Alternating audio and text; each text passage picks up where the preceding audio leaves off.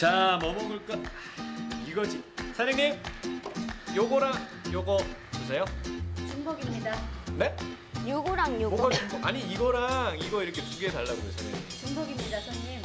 중복. 아니 중복이 아닌데. 오늘인데? 중복이 아니에요. 가운데 좀 엎드리고 중복에는 해수탕이죠. 아. 다 해신탕. 이열, 치열, 뜨거운 보양식으로 삼복 더위를 이겨라. 용왕님이 먹는 보양식이란 뜻을 지닌 해신탕. 온갖 귀한 음식 재료로 탄생한 해신탕의 맛의 기술 만나봅니다. 도착한 곳은 제주시 아라이동. 무더위의 중심에서 많은 분들이 이곳을 찾는 이유. 바로 이 해신탕인데요. 갈비와 닭, 각종 해산물에 신선한 채소들이 곁들여진 보양식 중의 보양식. 요즘 곁을 때 안 찾을 수가 없습니다. 가끔 이제 한 번씩 와서 먹으면은 우리 이제 이열치열 몸에도 좋고 네. 아 너무 맛있어요. 힘도 좀 쏟고 와이프도 좋아하고 아니 사장님, 아니 셰프님, 셰프님, 아니 셰프님, 아니 아니 아니 어서 오세요. 아니 지금, 아 지금 이게 무슨 일이에요? 아니 해신탕을 마- 해신탕을 배우러 왔는데 왜 갈비만 이렇게 계속 보이는 거예요 지금? 아, 저희 집은요.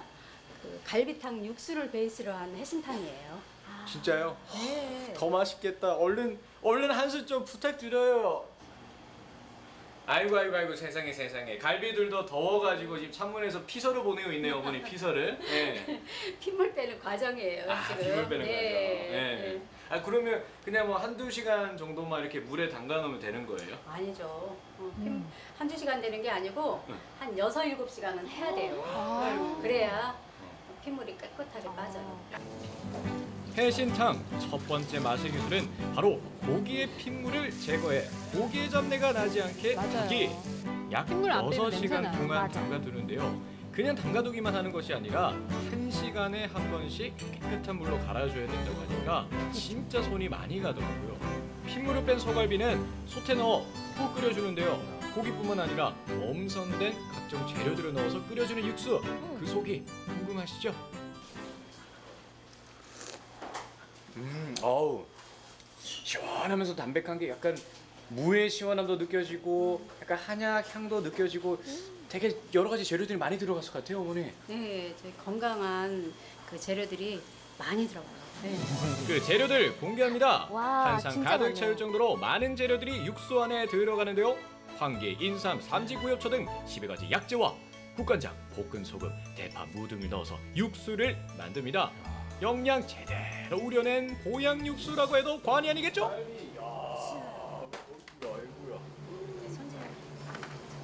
우와 이거 지금 다 삶아졌는데 이 맛있는 이 갈비를 이제 어떻게 손질하면 되는지 알려주세요 셰프님 알려드릴게요. 네.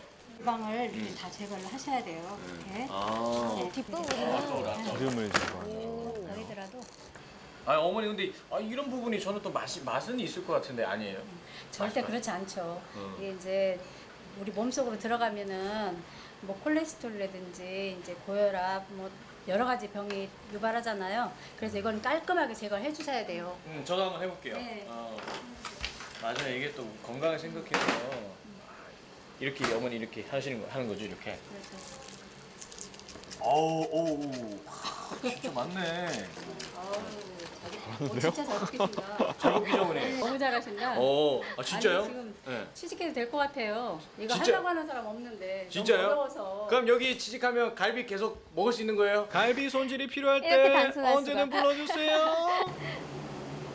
그럼 이제 갈비 손질이 끝났으니까 이제 닭을 손질할 차례인데 네. 어 지금 보니까 하나는 알 것 같아요 어머니. 아, 약방의 감초 그 딩동댕인가요? 딩동댕이죠. 하나는 또 뭐예요? 아, 이거는 당귀예요. 당귀랑 네. 감초. 당귀와 감초는 닭을 삶을 때 사용하는데요. 점점 우려나면서 영양과 향이 자연스럽게 이 닭으로 쏙쏙쏙 스며들게 됩니다. 닭을 압력솥에 다 넣었으니 이제 삶아주기만 하면 되는데요. 갑자기 손이 바빠지십니다. 바로 시간 체크. 여기도 시간이 어머니. 중요하네요. 네. 뭐 알람을 이렇게 또 맞추세요. 네, 닭을 지금 한 20분 삶으면 되거든요. 그래서 지금 맞춰놓고 해요. 딱 그 정도 삶아야 네. 딱 좋아요. 해신탕 맛의 기술 두 압력솥도 번째 딸랑딸랑. 닭은 아우, 압력솥에 맛있겠다. 20분간 삶아줘라 혈액 순환에 탁월하고 몸속의 독소를 제거해주는 향기와 감초를 잇고 황금 시간을 견뎌 이렇게 쫄깃쫄깃한 육질이 고스란히 살아있는 닭이 완성이 됐습니다 저게 또 잘못 소갈비와 퍽퍽해져요. 삶은 닭이 준비됐으니 이제 싱싱한 채소들과 해산물을 준비하면 끝. 자, 그러면 이제 해신탕 재료들은 싹 다 준비가 됐고 네. 이제 세팅만 하면 되는데 하나씩 넣으면 되죠 이제 네, 셰프님. 제가, 응. 이제 제가 세팅을 해볼까요? 이제 드디어. 모든 재료들이 어우러질 시간입니다. 어우러지가 육수에. 소갈비와 전복도 전복도 들어가요. 항상 전복과 타우린이 풍부한 낙지까지 그리고 채소는 향이 강하지 않는 것으로 넣어주는 것이 특별한 맛의 기술인데요. 배추, 부추, 청경채, 팽이버섯, 새송이버섯 등 본연의 맛으로 부드럽게 즐길 수 있는 채소들을 넣어주면 해신탕 맛을 더욱 담백하게 즐길 수 있습니다. 향이 강하지 그렇군요. 야채.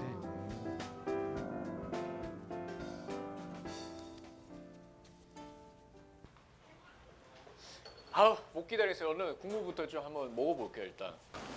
어, 이제 용왕님 되는 시간인가요? 아우 시원하다. 맛이 좋구나. 아니 확실히 아까 먹었을 때 그 육수와는 맛이 더 깊어진 것 같아요. 가정에서는 이제 그 신선한 야채들 무, 양파, 뭐 대파, 마늘 그 땀 많이 날 때 그 보신할 수 있는 황기 예, 그런 약간의 그 재료들을 갖고 육수를 낸 다음에 어, 그리고 이 고기라든지 이런 것들 넣고 같이 끓이시면 맛있고 건강한 해신탕 끓여 드실 수 있어요. 예. 자 이제 갈 갈비 갈비부터 뜯어야죠. 육해공 음식 재료 총집합. 대신탕 맛보기 첫 번째는 바로 아. 너로 정했다. 아우, 감칠맛 나는 육수 맛과 부드러운 육질이 살아있는 입이 점점 소갈비와 커지는 것 닭고기. 같아요. 바다의 영양 덩어리들이 입속으로 직행 또 직행 여러분 너무너무 죄송합니다 저의 본부는 입고 그만 해신탕 맛에 푹 빠져버렸습니다 그러니까 저 어느 재료 진심인데. 하나 놓칠 수 없는 해신탕 이 시간만큼은 제가 용왕이 된 듯한 기분 바다에 신들이 즐겨 먹었다는 맛있는 해신탕 그 첫 번째 맛의 비결은요 고기의 잡내를 제거하기 위해서 한시간에한 번씩 물을 갈아주되 여섯 시간 푹 담거라 그두 번째 맛의 기술은요 두 번째는요. 닭의 쫄깃한 식감을 위해서 압력솥에 20분간 삶아라. 맞아요 맞아요 잘 삶아야죠 그리고 마지막 비결은요 재료 본연의 맛을 느끼기 위해서 향이 강한 채소를 멀멀리 피하라 자 무더운 여름 지치시죠 맛있는 해신탕 중복 말복까지 이 맛있는 해신탕 드시고 쫙 건강을 지키세요 여러분 무더운 여름 파이팅 있게 생기 넘치게 이기고 싶으신가요? 정성을 다한 조리법으로 탄생한 최고의 보양식 해신탕이 있습니다. 맛의 조화에 영양의 균형까지 잡은 해신탕 맛의 기술 절대 잊지 마세요.